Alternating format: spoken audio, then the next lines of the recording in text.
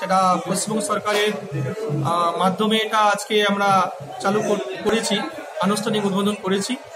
এটা মূলত বিষয় হলো যে দুর্ঘটনাজনিত যে সমস্ত পেশেন্ট ন্যাশনাল হায়ার ধরে যে সমস্ত হাসপাতাল আছে, যেখানে দুর্ঘটনা সবচেয়ে বেশি লেগে থাকে অ্যাক্সিডেন্ট প্রোন জোন সেখানে যে মানুষজন, জন আসে, তাদের জন্য একটা বিশেষ চিকিৎসা একটা ব্যবস্থা, যেখানে আমরা বেডপত্র দিতে পেরেছি, ডাক্তারবাবুরা আছেন।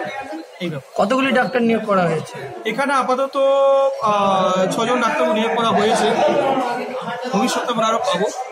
কতগুলো বেড বেড জেনারেল বেড পাঁচটা আইসিইউ বেড আছে পাঁচটা। বড় প্রজেক্ট এখানে যে সমস্ত মেশিন পত্র আছে সেগুলো খুবই দামি দামি। সেটা আমরা ধীরে ধীরে রাজ্য সরকার কাছ থেকে পেয়েছি। এই এটা অ্যাকচুয়ালি আগে এটা একটা মেল ওয়ার্ড ছিল। সেই মেল ওয়ার্ডটাকে ট্রান্সফরমেশন করা হয়েছে। মেল ওয়ার্ডটা এই গ্রাউন্ড ফ্লোর থেকে আমাদের ফার্স্ট ফ্লোরে হয়ে যায়। জাস্ট এর ওপরেই আছে।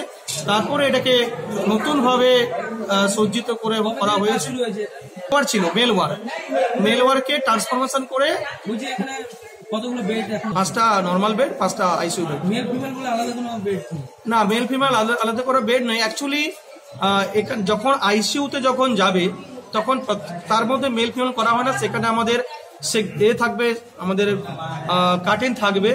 এবং আমরা পরে হয়তো সেখানে আলাদা করে স্ক্রিন করতে পারব। জাস্ট এটা একটা প্রাইভেসি মেনটেন করার জন্য।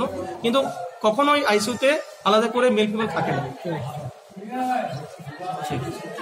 স্টাফ নার্স এসছে তেরো জন। আমরা আরও দশ জনকে পাওয়ার আমাদের একটা গভর্নমেন্টের অর্ডার এসছে। তারা হয়তো ধীরে ধীরে জয়েন করবে। এছাড়া আমাদের যে প্যারামেডিক্যাল স্টাফ আছে ল্যাব টেকনিশিয়ান আছে এক্সট্রা টেকনিশিয়ান আছে আমরা পেয়েছি। আমরা চারজন এক্সট্রা টেকনিশিয়ান পেয়েছি দুজন ল্যাব টেকনিশিয়ান পেয়েছি। এছাড়া আমাদের আরও যে সমস্ত যারা গ্রুপ ডি স্টাফ আমরা তারা বারো জন পেয়েছি। আরও হয়তো দ্যাট এখানে নিউরো সেন্টারটা থাকে না। নিউরো ডিপার্টমেন্ট হতে গেলে লেভেল টু এবং বা তারও উপরে, যেখানে নিউরো ডিপার্টমেন্ট থাকবে, যেমন নেশন যে সমস্ত মেডিকেল কলেজ এবং যেটা লেভেল ওয়ান আছে, একমাত্র রাজ্যতে আছে S S KM hospital level one trauma care centre আমাদেরটা